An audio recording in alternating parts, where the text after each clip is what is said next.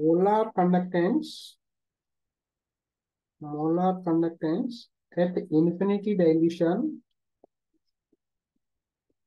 at infinite dilution and uh, zero concentration, zero concentration.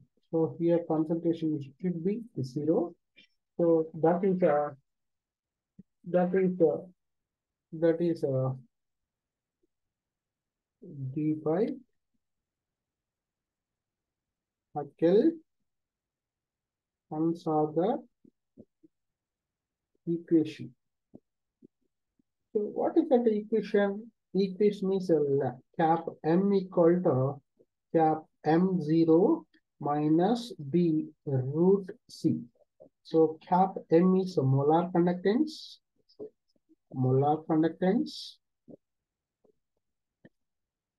That uh, cap m0 r kappa m infinity, that is infinity, that is molar conductance, molar conductance, conductance at infinity dilution. In, at infinity dilution and a zero concentration and a zero concentration. So B is a D by Hakel constant. D by Hakel constant. C is a concentration. C is a electrolyte concentration. Okay. So concentration. So here, generally what they are asking the question is in your examination of the examination point of view. So for example, they will give Na, NaCl electrolyte solution. Electrolyte solution. How to break this bond? It is 1 is to 1. One cation, one anion. So for example, KCl is there. How to break? 1 is to 1. For example, MgCl2. So here, the here, what is the oxidation state of uh, uh, magnesium? Plus 2. Is to, again, what is the chlorine oxidation state? 1. So it is it should be 2 is to 1. So maximum student they wrote uh, 1 is to 2, but don't write down the 1 is to 2. It should be 2 is to 2. It is we have to write down the oxidation state of the metal. Okay. So for example, Na2SO4. So here, what is the oxidation state of sodium? 1. 1 is to SO4 minus 2. So 1 is to 2. So here MgSO4. What is the oxidation state? So magnesium plus 2 and SO4 also minus 2. That is 2 is to 2. Okay. So they will get a question. This is actually, they're asked the question in maximum times in the entrance examination. So they will give the lambda m, that is, sorry, cap m. Then another one is uh, root C concentration. So here I'm given that uh, one question. So this is a curve. It shows the weak electrolyte. So it should be whenever it is a curve is weak, curve is there, that is weak electrolyte weak electrolyte. Example, weak acids, carboxylic acid. If it is a same curve, so it should be like a, you know, this is a straight line. It is a strong electrolyte, KCl. Strong electrolyte. So means, means here weak electrolyte, it does not uh, touch with the this uh, y-axis. But whereas at a strong electrolyte, it is easily touched. Means we cannot find out the molar conductance for weak electrolyte at infinity dilution. It should be infinity. Okay. So that's what we get here curve for weak electrolyte, strong electrolyte, we get a we get a straight. Is it okay? For example, same question we will give the question that is a cap M, then root C. Here, this is a carboxylic acid. Compared to this one, this one is a formic acid. So here, which is a more acidic acid? Formic acid. For example, this one. What is this? KCl. So weak, strong. Strong always get the straight line, then weak always get the curve.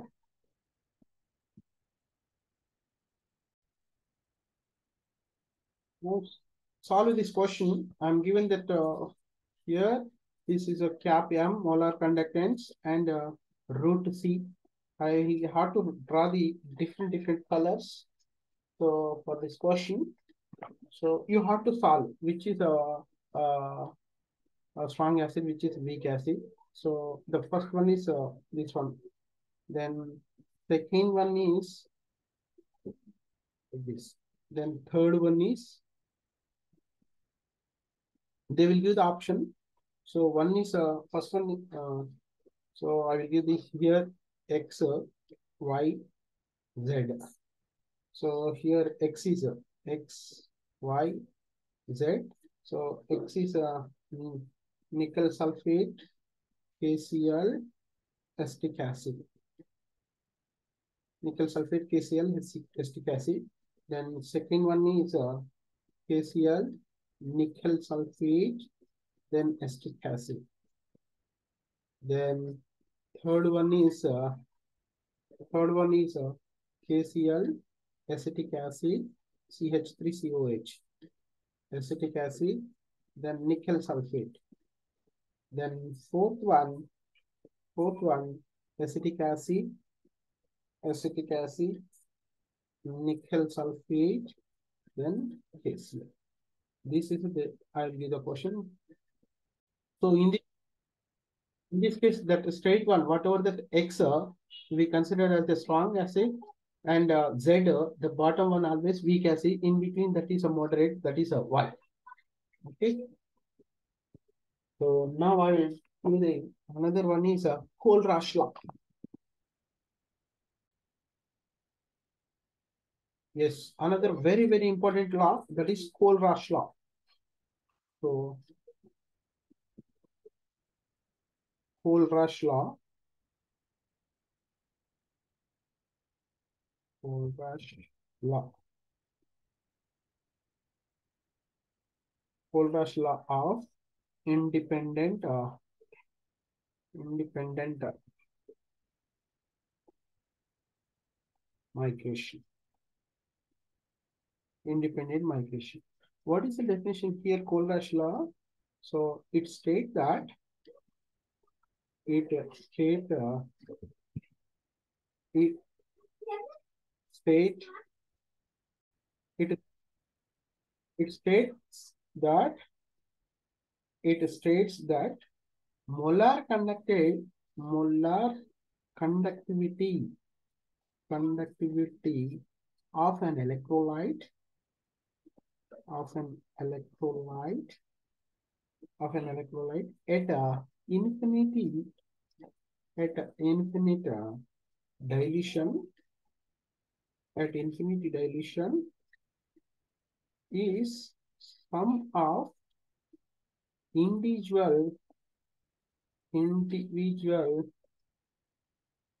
individual molar conductance.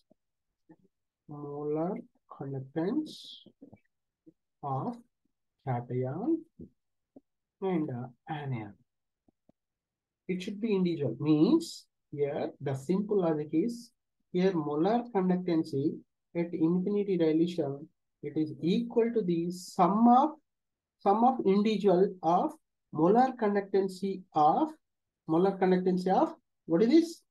Cation means here positive charge particle plus molar conductancy of anion molar conductance of cation and molar conductance of anion sometimes some books they wrote a uh, molar conductance at infinity dilution is called lambda lambda cation plus lambda anion. Both are same. This one is zero. Both are same. Okay. For example, for example, NaCl they will give. So what is the here cation? Lambda Na plus ion, then lambda Cl minus ion. Okay. This is a I have to find out that uh, Kohlrausch law. So Kohlrausch law always they will give the question from Kohlrausch law. They will do the conductance of any salt, you have to find out another one. So what type of the questions they are asking, I will tell you.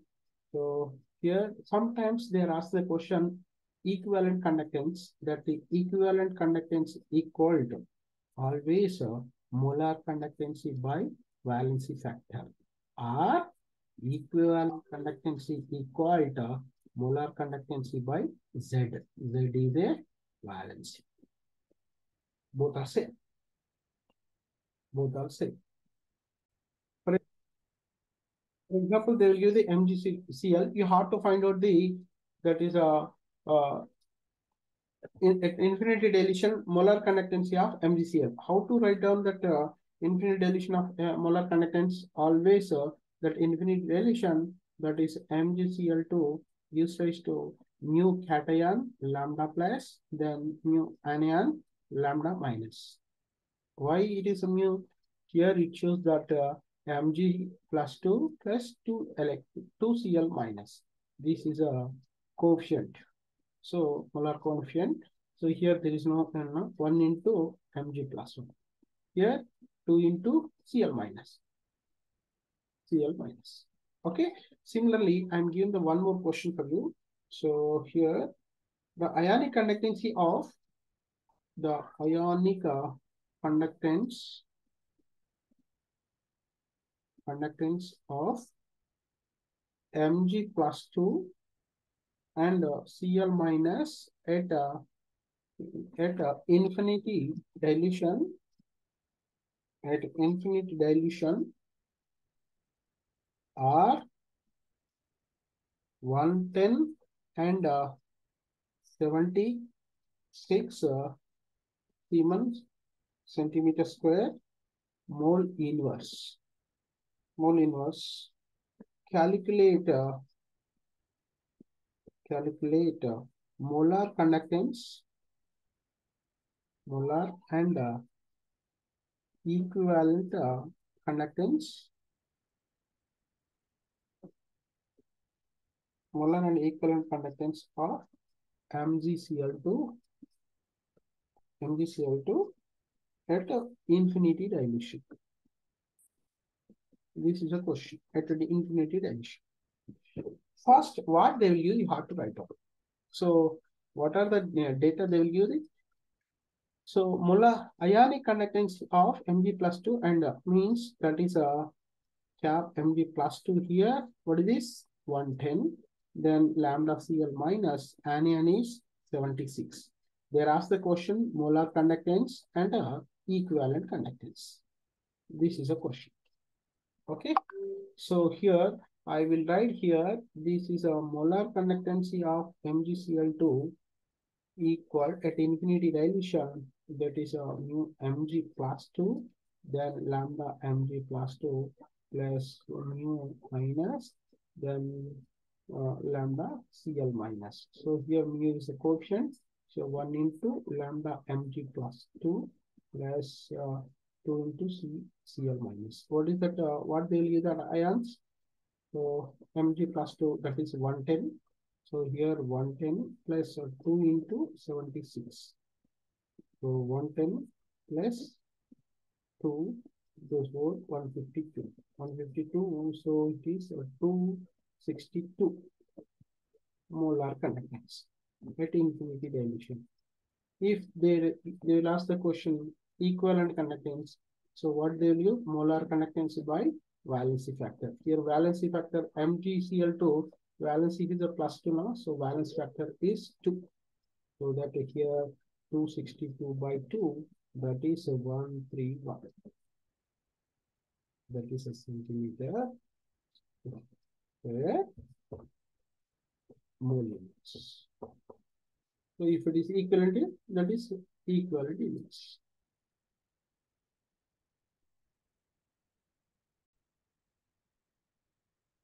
Calculate molar conductance and uh, equivalent conductance equivalent conductance at infinity dilution at infinity dilution of salt of salt of salt C double bond OK and uh, C double bond ONA. What is this? Sodium potassium oxalate. The ionic conductance, ionic conductance of C2O4 minus 2 K plus and uh, and uh, Na plus at uh, infinity dilution or 148 uh, 148.2 comma 50.2 and uh, and uh, 73 point uh, 73.74 ohm inverse centimeter square mole inverse. This is a question. They are asked the question molar conductance and equivalent conductance. So now you have to solve the problem. What they will give the question. So they will give first you have to check, you have to write down the equation. So C double bond O K then C double bond O N A. C double bond OK and C double bond O N A. So how to break this bond? This is a C double bond O minus then C double bond O minus with a K plus plus Na plus. They are asking a question for salt. So they are asking this one. You have to add all these things. So what they will give that oxalate ion? This is oxalate ion. Molar conductance uh, equal to oxalate ion. What is that oxalate ion? 140, 148.148.2 plus what is the sodium value? Sodium, yeah, potassium 50.2, then 50.2, then what is the sodium value here?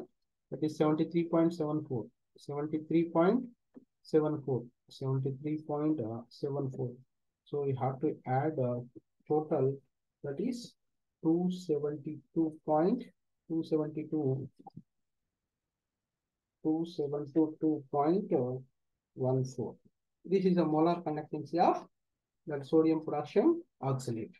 So again, they ask the question equivalent conductance. Here, molar conductance here is uh, anion. This is a, what is the oxidation state? Minus 2. So that valency factor is 2. So the equivalent conductance 272.114 by 2. That is uh, 136.07. That is uh, equivalent conductance. Equivalent conductance.